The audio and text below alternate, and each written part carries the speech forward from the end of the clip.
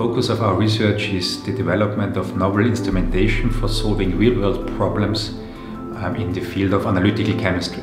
In the year 2016, we applied for two different projects which were responding to a call from the ICT. And the purpose that those devices should fulfill is to make sure that the quality of the water that we are using as either as a drinking water or as industrial production water is assured.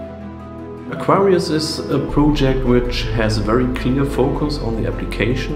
The basic idea for the Aquarius project to have an online as well as inline system for detecting oil in water. We are preparing the R&D solutions, customized solutions, customized sensors, everything that's needed for the application and optimized for the application.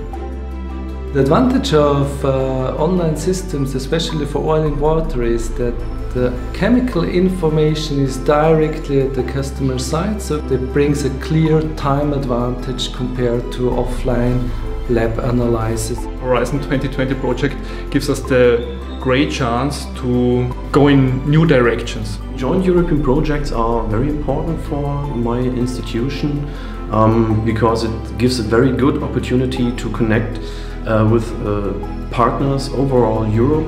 The reason why we're having those technical meetings at the same time at the same place is just because we believe that it is a very efficient way to ensure the communication between the projects which are along a very same line of research.